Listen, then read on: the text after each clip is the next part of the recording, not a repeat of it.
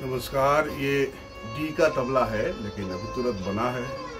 इसलिए टिकने के लिए आज भर सीसार में रखा गया